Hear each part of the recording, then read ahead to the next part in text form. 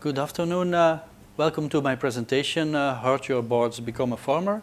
My name is Geert Uytterhoeven. For the people who do not speak Dutch, uh, my last name actually means from the farm, so I'm uh, going back to my roots.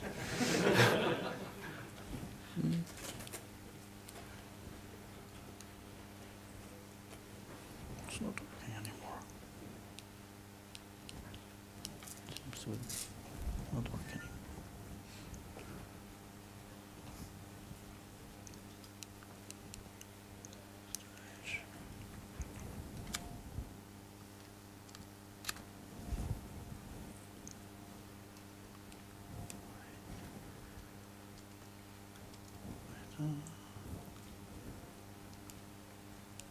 Ah, now it's working. Uh, so uh, I started with, uh, working on Linux uh, a long time ago, more than 20 years ago, uh, for uh, the port to M6 of Linux M68K to the Amiga. after that, I worked on porting Linux PowerPC on the Common Hardware Reference Platform, which is something that has mostly died since then. And for a while, I've been the Linux Frame Buffer Device maintainer all of that was mostly hobbyist work, so not for money. and then uh, in the meantime, I started working for Sony, and in 2006, I started working at Sony on uh, working on Linux, running on the PlayStation 3 uh, game console and the Cell Broadband Engine uh, processor. In 2013, I uh, became a freelance uh, Linux kernel developer, and I've been mostly doing upstream work for the kernel for the Renesas ARM SoCs. So why would you want uh, a board farm? So most people, they start with getting a board, they put it on their desk. It's easy to set up, it's easy to interact with. You want to power on the board, flip a switch. You want to reset it, you, you want to look at uh, the heartbeat LED, all easy. But after a while, these days, many development boards are quite cheap. So after a while, you start getting more and more and more boards, and they start outgrowing your desk. If they have loud fans, then they will start making too much noise. If you're working from home, like I do, there may be other people in the house who do not like a stack of boards on your desk visible uh, from the living room or something like that. So uh, I would like to know, are there here people who have a board on their desk? Anyone with three boards on his desk? More than five? Who has a board farm? Hmm. That's good. So after a while, you start thinking, I should put the boards somewhere else. It's, you have less clutter on your desk. You can centralize everything in one place in your house if you have really lots of boards. You can start automating things. Uh, thanks to the internet, you can just access the boards from anywhere, from your, from your house, from your garden, from uh, the coffee shop, from the other side of the world. Uh, you can start providing access to your boards to other people. There are no limitations. Of course, there are a few challenges about that. So it's more complex to set up than just putting a board on your desk and connecting it to your local PC. But the biggest issue is how can you interact with your boards. If it's close to you, you can flip switches, look at displays, uh, whatever. Uh, so I will be mostly talking about the actual setup and all the, the challenges you have, and only a little bit about the, the software and the, the higher level things. Um, what do you want in a board farm? So the basic stuff you need is you need to be able to power on and off the board and have a serial console so you can look whether it's booting well. And that's mostly what many of the kernel CI boot testing tests are doing. But uh, I wanted some something better. So I wanted real reset support. So in, I've seen several bugs where that you could not see when power cycling the board. You really had to press the reset button. Or bugs that you cannot see by, by, doing, by typing a reboot command or something like that. for that, you need access to the reset button, which is a bit inconvenient if it's not on your desk anymore. Uh, other things are uh, wake up after suspend. If you want to, to check that, you have to, to provide some uh, wake up source. Uh, soft power on, it's, it's all, several boards have a special button to power it on, and that, that, pressing that button is different than power cycling the board, so you want to be able to test that well. You may have other buttons you want to press, and I also wanted to have at least some idea about power consumption of the boards. There could be more advanced things you can do, you want to do with your board. It depends on the use case. Some people are working on graphics, multimedia. They need video in and video out. These are really specialized solutions, and there may be other things that you want to do. So now I'll look a bit at the building blocks of your board farm. If you just have one board, it's easy. You, you need Unity provide power, you connect the serial console, connect it to the network, and then you have interaction, which can be various things, pressing buttons, looking at screens, uh, you name it. If you have a board farm, it's almost the same. You just have more boards here in the middle. So now I'll go over the different uh, four components we have over there. I'll start with power control.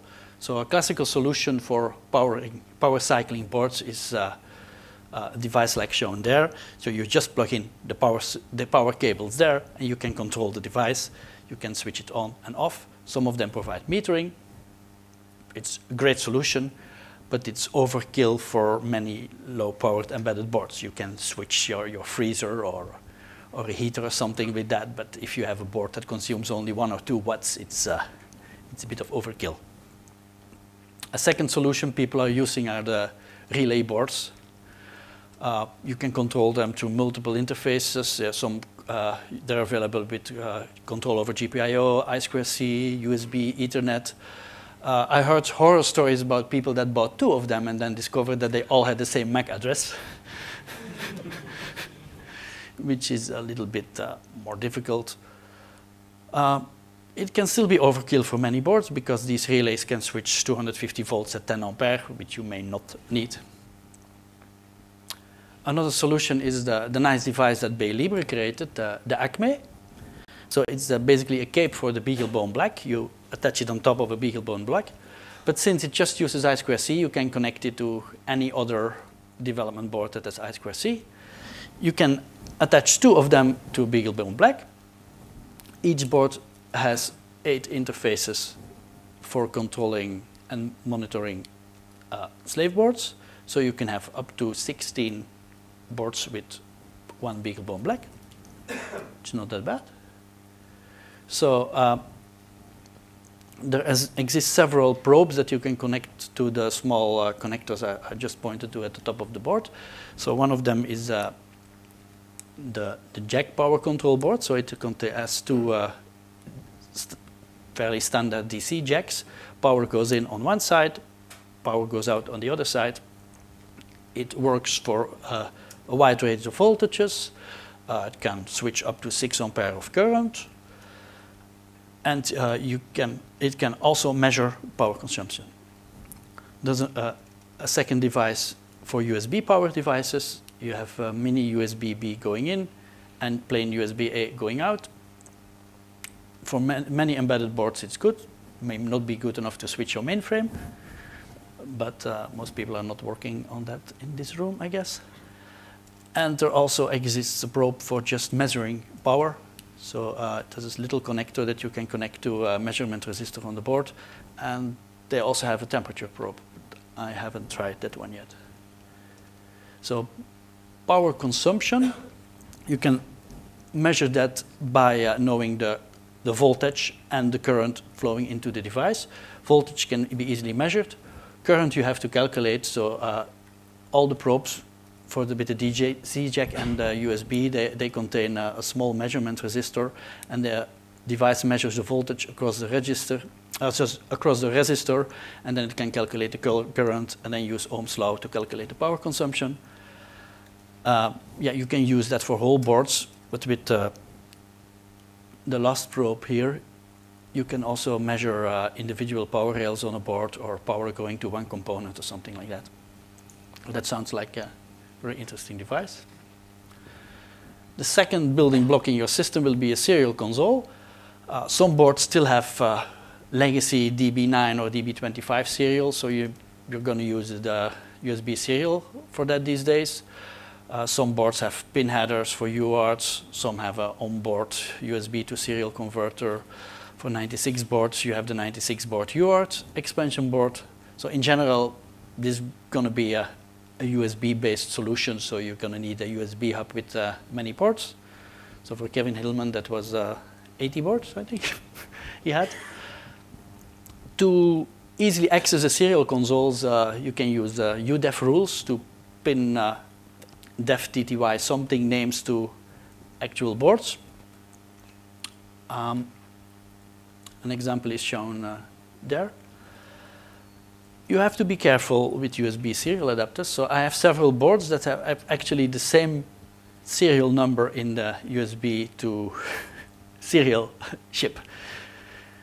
Uh, fortunately, unlike for Ethernet, you can address USB devices by topology using uh, dev serial by path, so you can easily identify them. Of course, if you rearrange the connectors in your switch, then the paths change. But it's easier to work around and uh, work around identical MAC addresses. Another component of your system will be a network. So in, that's mostly going to be an Ethernet switch and a wireless access point. That's not so different than normal Linux machines, so I'm not going to say much more about it. Fourth component is interaction. This is the most difficult one it's be mostly be about I'll talk mostly about input and control. Output is uh, a bit difficult, uh, screen output, things like that, looking at LEDs. So if you go beyond uh, the serial console, it uh, becomes quite complicated. And for, for, for graphics and multimedia, you may require, you have to use your creativity and uh, build custom solutions uh, if you really want to handle that. Um, for interaction, you usually have switches on the board and buttons. You can have them for to reset the board, to wake it up, power it on. You may have a keypad. And you have usually several different inputs on a board that you can use to interact with it. The easiest ones are the the, the female or the male headers, like you see here on the BeagleBone Black, they, uh, they exist in 2.54 millimeter variant, and some boards also have 2 millimeter. They are can be a little bit more challenging if you need a, a connector and not just uh, a few uh, uh, hookup wires. Example of the latter is here from uh, the Dragon board. Um, uh, sometimes you may have an unpopulated header on the board. That's actually not that difficult to handle. You can, on the picture here, you see, you see one unpopulated header and here a header where I, that I soldered in myself. Uh, so you can easily attach uh, a jumper wire there. On some boards, you have a reset available, of, for example, on a, on a test point, and then you can use a, a test clip or a, a hook to connect the wire there and control it remotely. Um, some boards only have high density connector breakout uh, connectors. They are a bit more difficult to handle. Fortunately, you can buy some adapters for it. They're usually quite expensive because it's for specialized uh, connectors. the alternative is that you try to build something yourself, which, uh, which is what I did here on uh, on a protoboard. So on the top I glued a connector and then I soldered in these tiny wires and on the other side of the board I soldered on a, a header. If you want to go this route, then this, uh, the extreme wiring on the prototyping board web page is a very interesting one and it has also some nice movies of uh, really advanced stuff that some people can do with a soldering iron. Um, here I have some tips and tricks. Uh, if you don't have a, a header, where, where the reset signal is available, for example, you can solder a cable to the switch or some other component. Uh, something I also use is that uh, on the, if there's a JTAG connector, it has a reset line. On some boards, that's only connected to the CPU, but on other boards, it's just connected to the system reset, so you can use that instead. Um, to wake up a board from suspend from RAM, you just need a free GPIO somewhere or an interrupt line. And you don't have to use the switches that you have on the board. So with some small modifications to the DT, you can convert any GPIO that's available on an expansion connector to, to, to a button that provides a signal you want, like wake up or uh, key A or 1 or uh, 7 or whatever you want. So you can use that to avoid having to, to solder a wire to a switch on a board. Uh, there are some things to watch out for. Usually switches uh, assert a signal by grounding it, but there are some cases where uh, you have to pull it up high. And then the question is which voltage, because on some boards you have 1.8 volt, you also have 3.3, 5 volt. Uh, we have to be careful there. And uh, I actually had uh, one board with an interesting connector that provided all signals I needed, but one signal had to be pulled up high, and the connector didn't provide any positive voltage. So I had to get it somewhere else, and that's why, why I had here this uh, red wire going to a, a, positive voltage somewhere else. All the other uh, pins I just had to, to pull, pull down to, to assert them.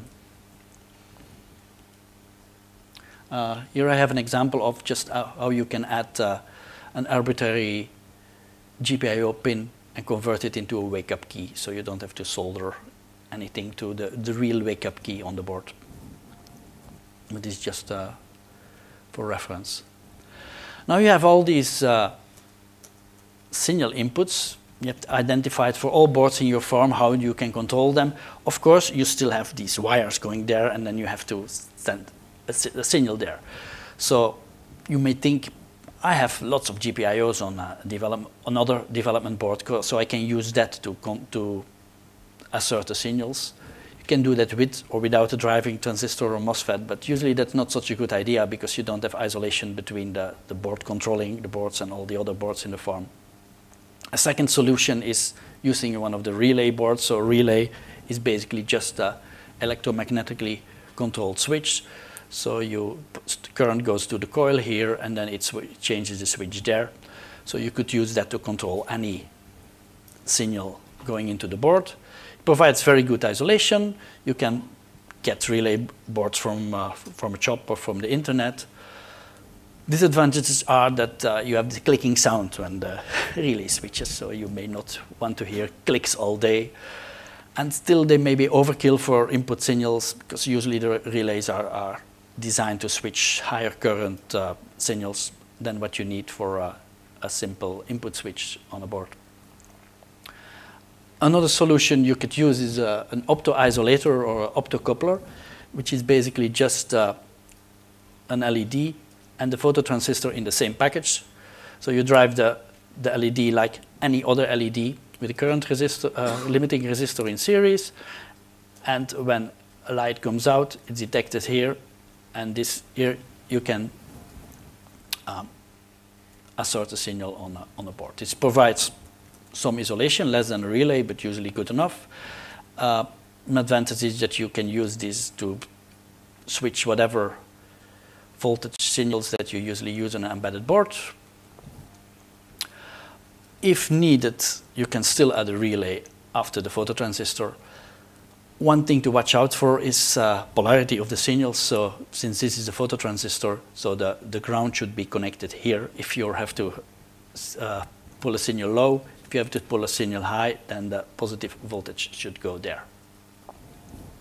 And actually, this is a solution that I used for uh, the board farm I, uh, I uh, made myself. So on the proto board, I made uh, I put some optocouplers you can see them here at the, at the top. So these are uh, modules with four optocouplers in e each package, so I have eight in total. Then I used the I2C uh, GPIO expander. So I can connect it to uh, I2C bus on, uh, on the BeagleBone Black that I had for the Acme. So uh, connectors here are for the I2C.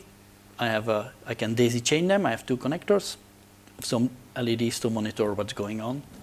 And I got two of those boards so I can, can control 16 signals uh, in my form.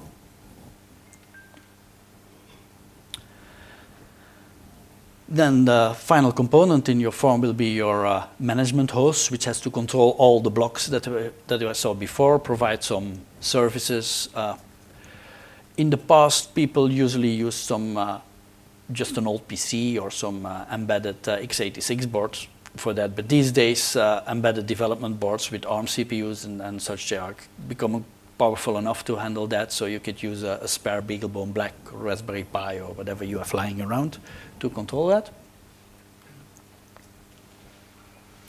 Um, this is something uh, I use for the BeagleBone Black. So it has a, a, serial console on a male header where you can just connect a standard FTDI uh, USB serial cable. But the problem with the BeagleBone Black is if you add a, a cape on top of it, then the, you can no longer easily access that connector. so I used uh, some things called pogo pins. These are spring-loaded pins and connect them to the standard FTDI cable. And if you then put the BeagleBone Black on top, push it down and make sure that it stays that way, then you can have a console while the cape is uh, connected. I will talk a bit about uh, how I power the board. So this is uh, a bird's view, not related to Tim, about about the farm I currently have. So at the center here I have uh, BeagleBone Black. Then I have one, two, three, four, five, six development boards. Um, Ethernet switch, USB hub, um, USB to serial with four, four ports. And these are the two boards with optocouplers I use to control the input signals on the various boards. And then if you look carefully, you should see the power probes for the Acme. They're here, the small PCBs here. So this is still more or less a, a, prototype. I decided to start building it on a table to see how much space I really need. And the idea is to move it to some rack or a closet or something better later. One thing that's missing here and you don't see is the power supply.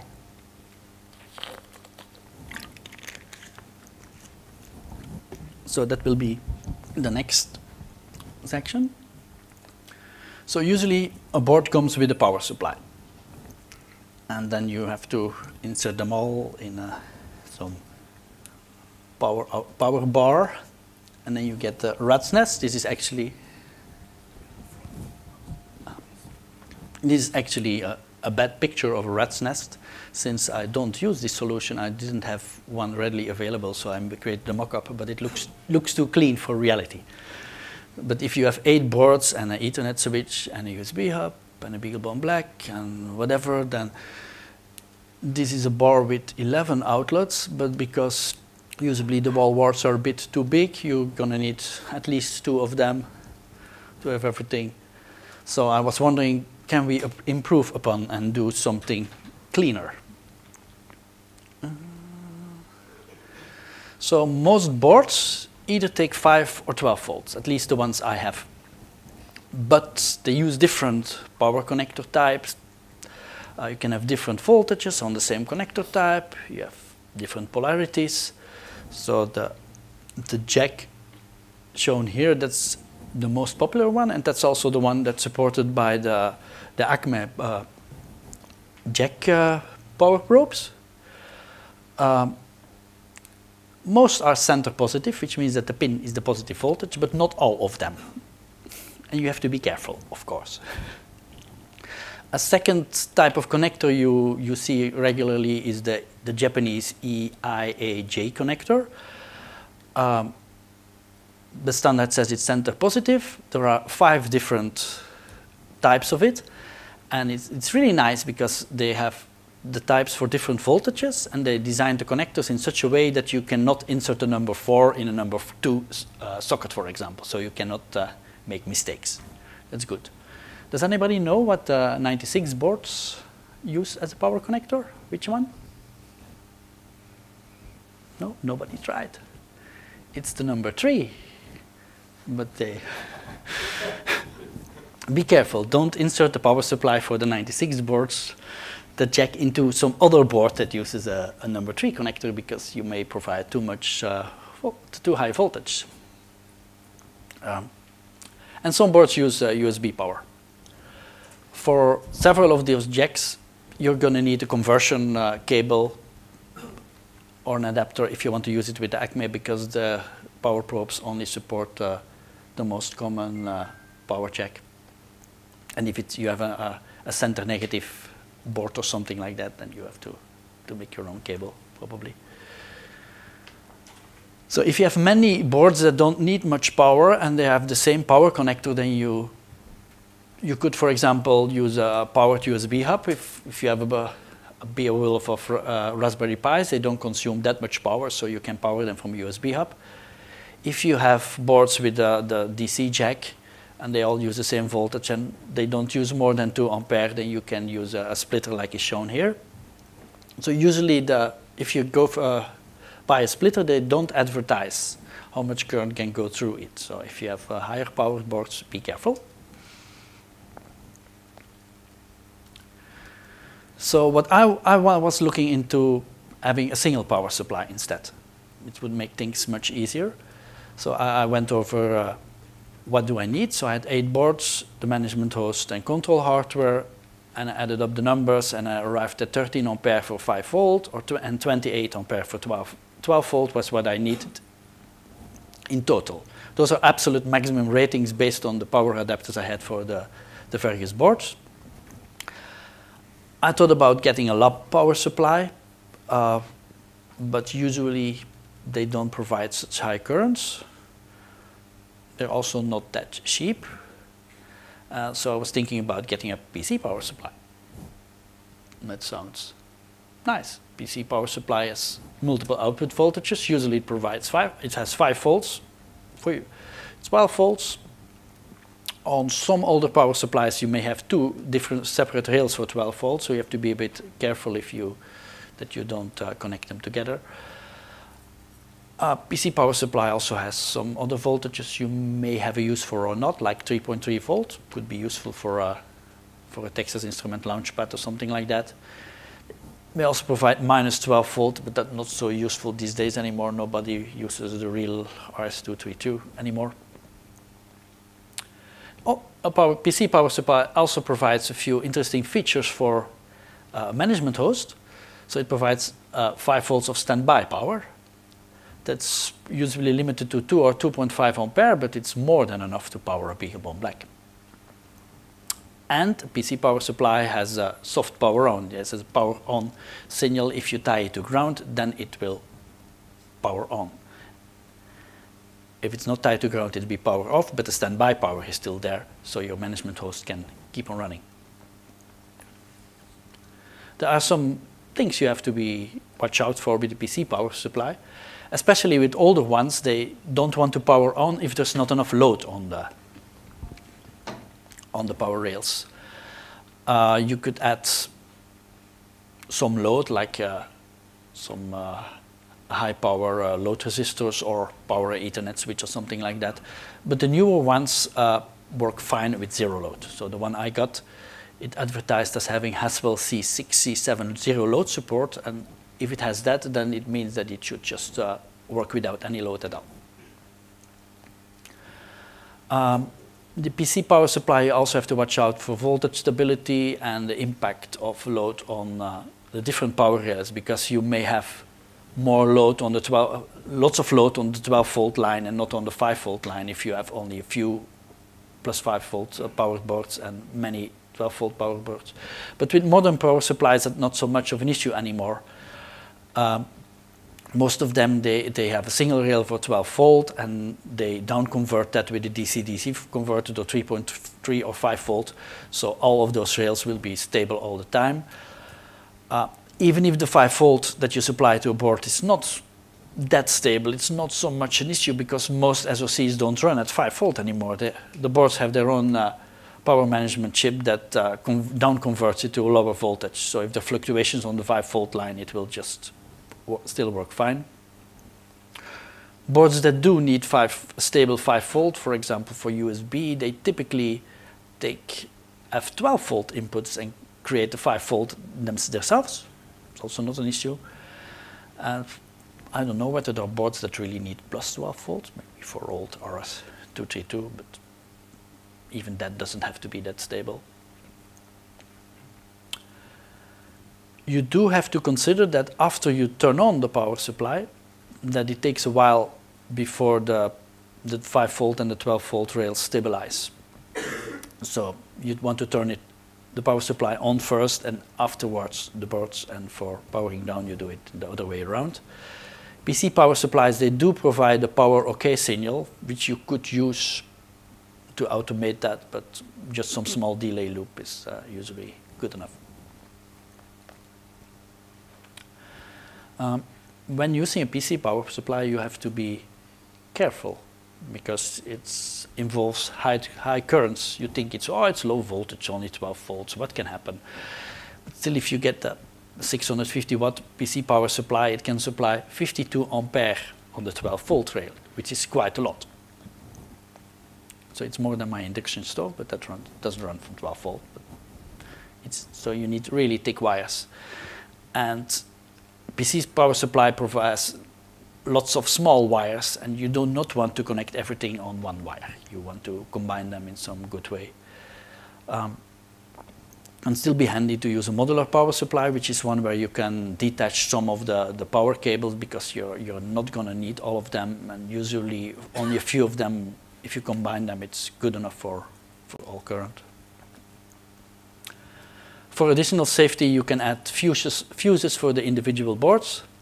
So power supplies, they, they have to handle short circuits, but uh, if you accidentally have a short circuit, make a short circuit on your uh, Raspberry Pi, and it tries to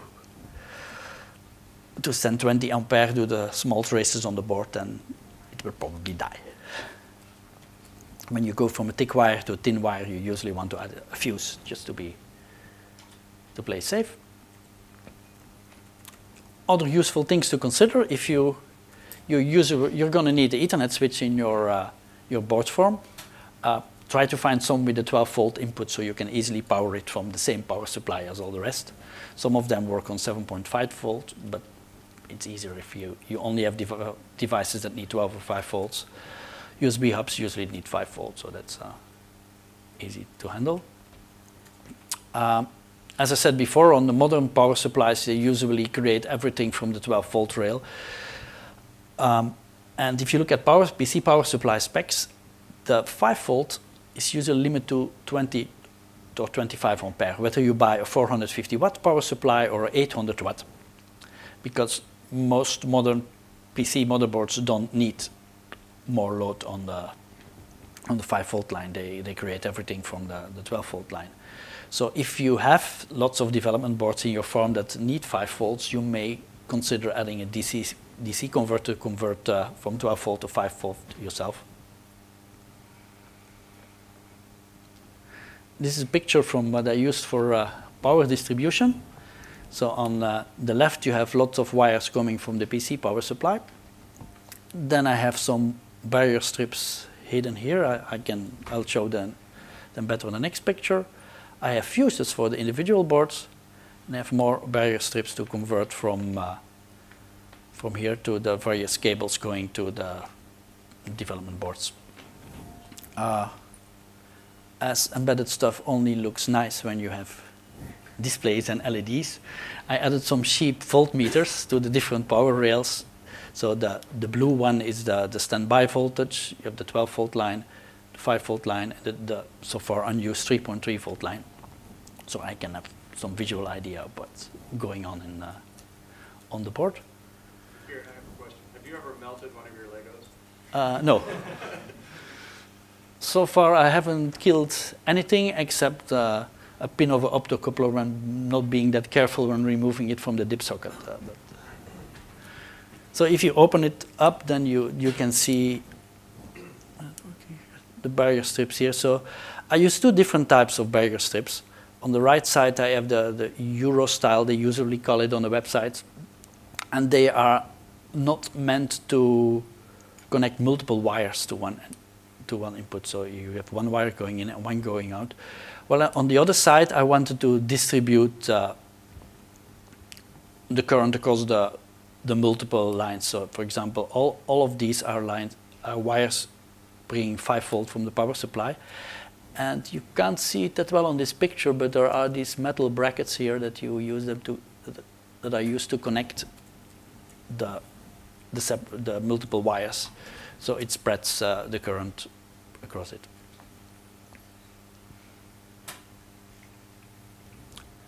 Next point, the software of the board, of the board farm. Um, for controlling all the GPIOs, uh, so I have uh, I2C GPIO expander on the boards with the optocoupler.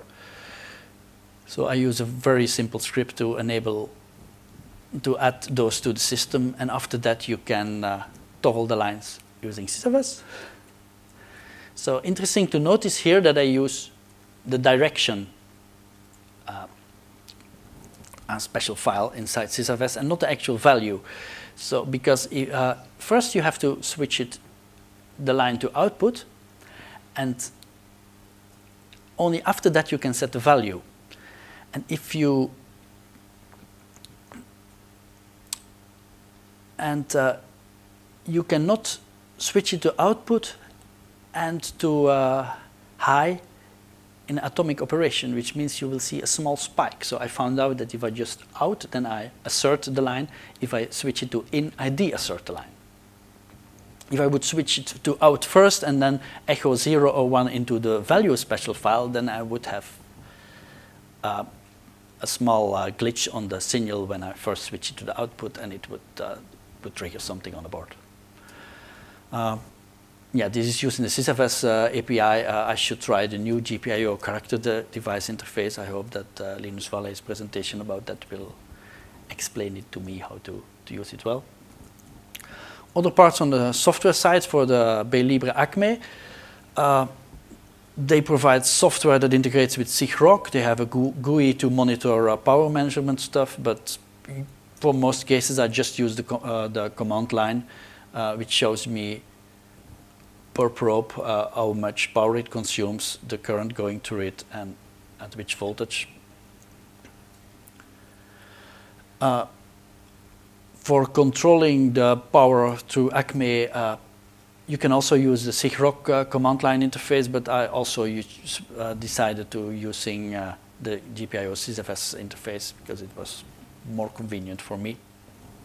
One thing to watch out with the ACME is that after power up, it powers on all boards, which is not necessarily what you want to do. So I changed uh, one line in the, the Acme init script, and then that problem went away.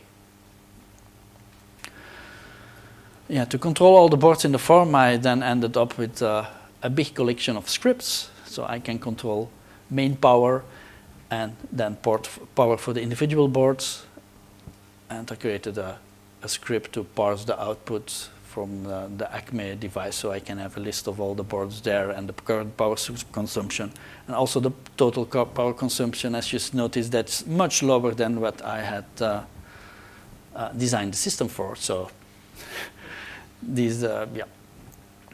Usually they are really absolute maximum ratings and if the boards are idle, they, they consume uh, much less power than, uh, than advertised.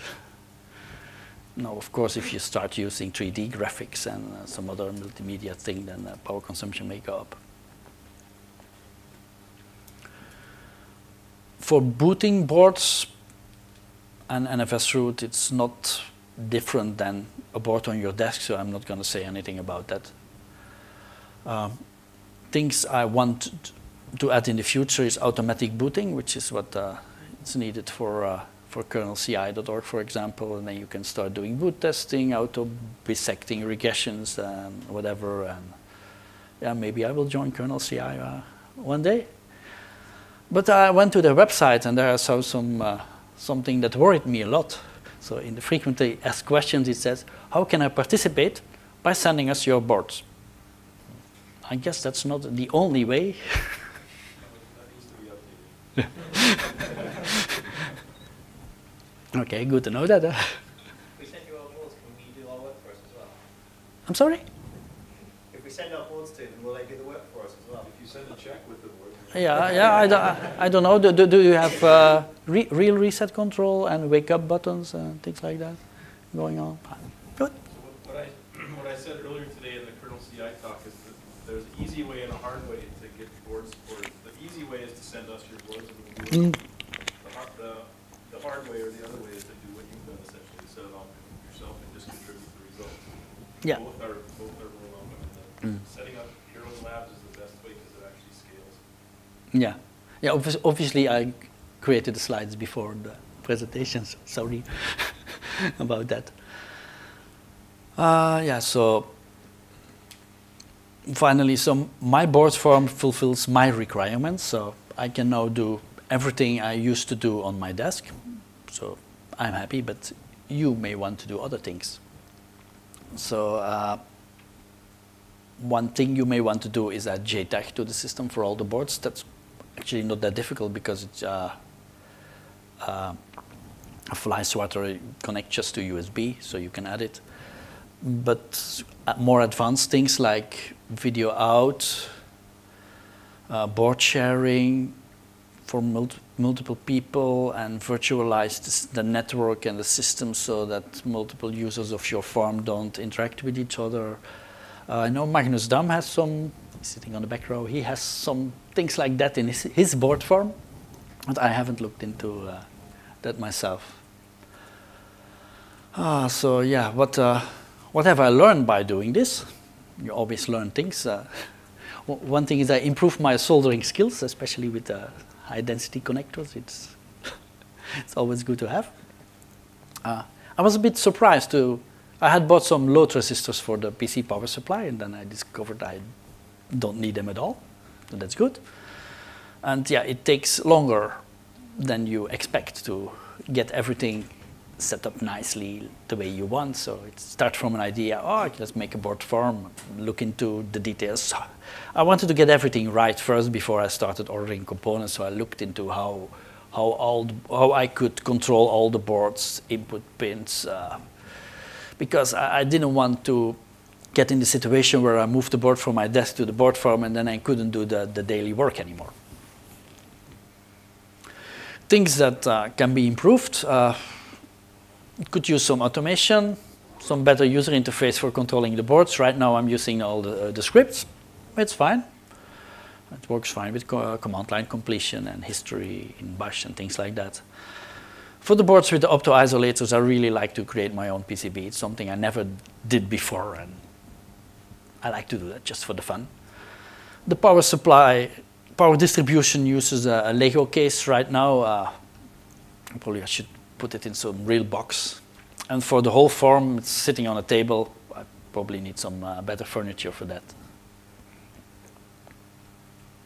And uh, yeah, I like to thank uh, some people for uh, various things. They're listed here. And I think we have four more minutes for questions, like that. Yes, please, uh, do we have a spe- uh, microphone somewhere here for questions? Can you try speaking louder? There isn't one right. Just speak up. Speak up. All right, so, Just repeat the question. so about the, about the isolation with the, with the optocouplers, the relays?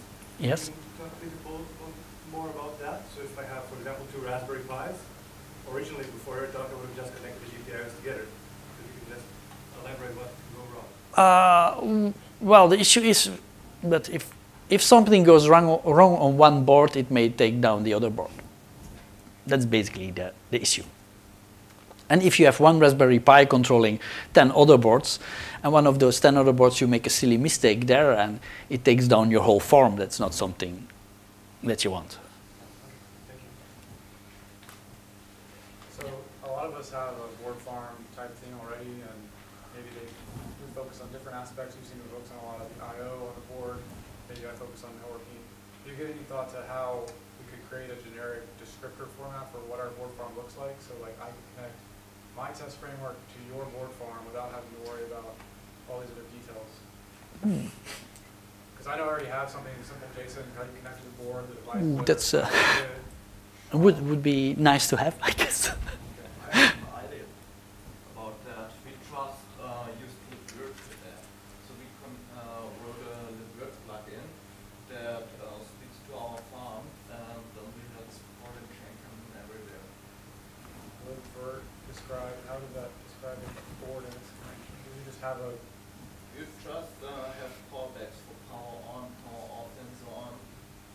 Um, well, I'm talking about like describing, off if We get, okay, so mine goes above and beyond that. I want to instantiate virtual machines that connect through a network switch and figure the VLAN that's connected to the router and test all the ports on it.